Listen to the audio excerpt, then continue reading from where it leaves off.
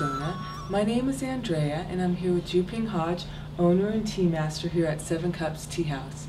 Welcome to our video podcast, and today we're going to tackle a tea that is unfamiliar to most American tea drinkers, but is very popular in Asia and becoming increasingly popular in Europe.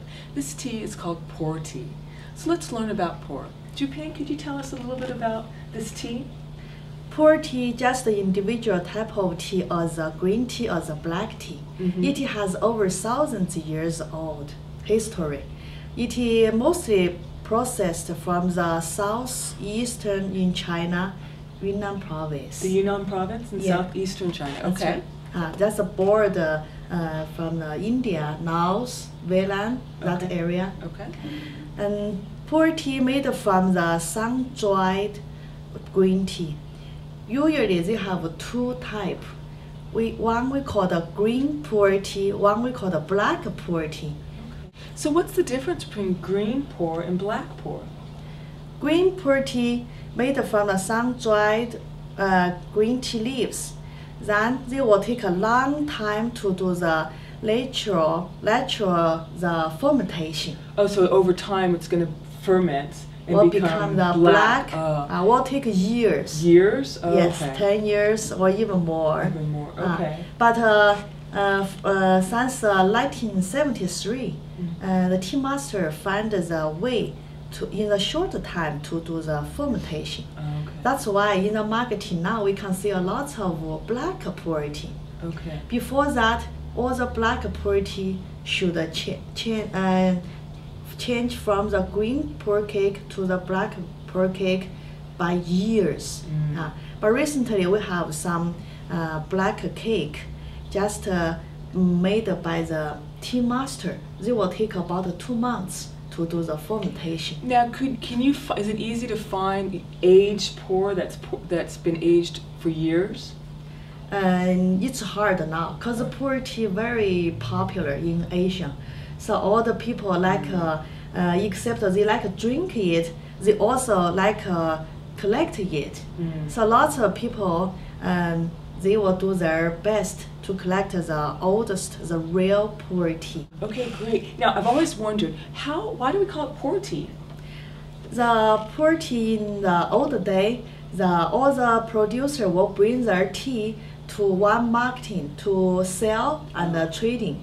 The, uh, there, the, the land, that town, the land the Pu'er, Oh, on the southeast in Yunnan province. So actually, tea is just named after Named the city yes, or town. uh, It's more of a town. Small town. Small town Ah, in, in Yunnan province. Yes. Okay, so you, you said that tea is compressed, and I see some different shapes. Can you explain a little bit about the traditional um, ways that pu'er was um, compressed?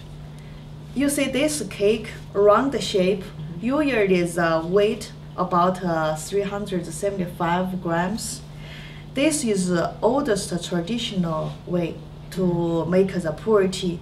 They will steam the sun-dried green Mhm. uh, tea, then compressed into a cake. Mhm. Then they will use some paper to wrap it, or in the older days, some tea even don't have a paper to wrap it individual, but they must be pike uh, in se- se- use seven piece to wrapped by the bamboo Mhm. uh, shoots some some uh, by the bamboo.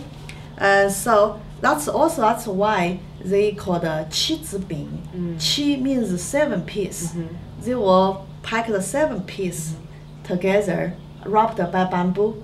It's easy to carrying uh, and store, cause uh, the tea after they trading in the Pu'er uh, that town, then they will use horse carrying to the India, Tibet, uh, The East different Asia, areas. different area. So they did uh, compress very tight. You also can see some other shape. This is kind of new, just about a hundred years history. We call the tocha Mhm. shape like uh, some ball, huh? some size small, some size big. And I know more recently that they've even made individual small ones for service as well. It's convenient It's for use because uh, every small uh, pu'er tocha usually we packed in four grams. Mm. Uh, if uh, you drink from those uh, uh, cake, you before you just uh, broke it, uh, you use some hard uh, stuff like a knife or even hammer, but uh, you gotta wrap it. Use a towel, uh, then you broken it. Uh, then you will be very easy to just op- uh, break off by hand. Every time you just put uh, uh, about four grams So four grams, maybe like a quarter size. size. Yes. So when you're brewing pu'er tea from a brick or a cake or a tocha, go ahead and um, a quarter size. But what about this other? I see this is loose tea over here. Yeah, you can see loose tea. This uh, uh, way to drink just uh, recently. It's new. It's convenient for uh, people to use. And how much how much tea would you use for loose pu'er tea? About a tablespoon. A if tablespoon. Uh, the tea leaves are very big, about uh, uh, two tablespoons. Uh, this uh, it's break. Mm-hmm. Uh, break more uh, more popular and familiar with uh, Tibet and Mongolians. The They Mongol. drink the break the tea uh, every meal. Uh, they drink the tea from the, this break. Great. Well, let's go ahead and brew pu'er tea. Which what pu'er tea are we going to brew today?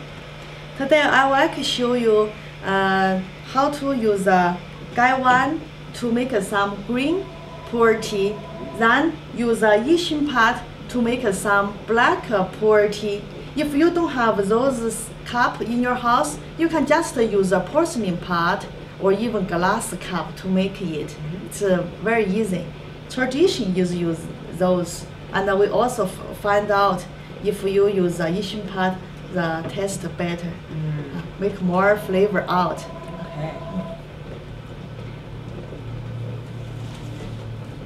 So as Juping is preparing, getting the about quarter size green pu'er, one of the important things about drinking pu'er tea is that the first um, pot that you make, you want to rinse the tea leaves because, as Juping was saying, um, much of the pu'er was is stored and uh, traveled, so you want to rinse the tea leaves off before you drink it. It also takes a lot of the caffeine, so if you're sensitive to caffeine, rinsing the first pot is a great strategy.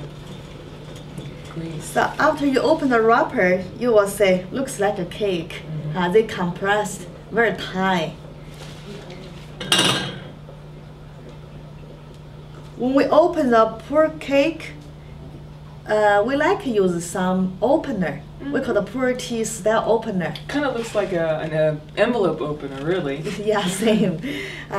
Because uh, we want to uh, do our best to avoid won't uh, don't damage uh, the tea leaves. Mm. So we will be very gentle. Put the opener inside, very gentle, little by little. Then very slow to open the the dry tea leaves because every tea leaves pressed by layer by layer. So you can find, you can feel that they will get out by the lay, every different layers. So you, you just open like this much. You say quarter size. Quarter size. Quarter yeah. size. I'm Uh, always tempted to put more. you, pu'er tea you don't need to, to, You don't need that much. Because the pu'er tea came from the Yunnan province. Uh-huh. It uh, must be came from the one special the we name the big uh, leaves tea tree. It's not a bush. It's, oh, so not a bush. It's okay. Uh, tea plants. Some we name the bush. Some we call the tea tree. Mhm. Tea bush, the uh, character milder. Uh, the tea tree grew on the Yunnan. Their character for the taste it's strong, rich. Uh, they grew That's on the rainforest, Mm. very rich. So, So- remember, just a quarter size. Yes, and you also pu'er tea. You will you will find out you can use the same tea leaves, infuse many times. I've infused get a lo- sometimes pu'er tea like 10 pots. some yeah even more than Even that. more than if that. Uh, uh, you like a lightly taste, you just quickly infuse about one minute. So. Uh, Great. And a lot of times people ask us about storing tea. With all our other teas, like oolong or green tea, we store it in a, a aluminum foil, um, foil bag, and you want to have a seal tight because those teas you're going to want to drink between one and two, sometimes three years. But with pu'er tea, you want to have it um, stored so that it can still uh, continue the fermentation process. So that you want to have it exposed to the air. So I recommend that when you store it, find a place that's not going to mingle with other strong scents because the pu'er tea will absorb that, and just place it that it's so that's open to the air, right? Is exactly must be open with the air. We said pu'er tea has a life. It always has a life until you brew it. So pu'er tea always change. Mm. By the fermentation, they will grow lots of microbes. Mm. That's why it can help to cleanse our body. So is the, the, the microbes in the tea from the fermentation process, is that why it's recommended for digestion? Yes, and uh, helps the uh, cleanse, clean the blood. And so you see Juping is rinsing the first pot, rinsing the tea leaves. And so as you said, there's green pu'er and there's black pu'er. So what are some of the, the characteristics of a green pu'er cake that, the, that you would notice? Later you will say the green pu'er tea, the tea color looks uh, brown. Uh, uh, the pu- uh, black pu'er tea, the tea color looks uh, dark, Mm. red. Somebody will think, oh, black pu'er tea must be very strong taste. In fact, it's upset. The Mm. green pu'er tea's taste always strong, rich, uh, complex aftertaste. The flavor can stay on your mouth for a long time. Very lingering taste. The black tea compared to the green tea, much more mild. Never go bitter. Uh, lightly sweet after you drink it. Okay, let's try. So we're going to brew the second pot. We drink from the second part. If you're looking to buy pu'er tea at sevencups.com, you can visit us or come to our tea house because we do carry all um, loose pu'er in addition to the cakes and the tochas.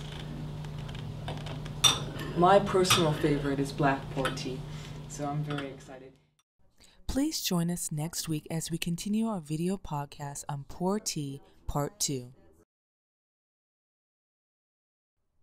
We welcome your questions and comments, so please visit us at sevencups.com and we will answer any questions you have about tea and tea culture.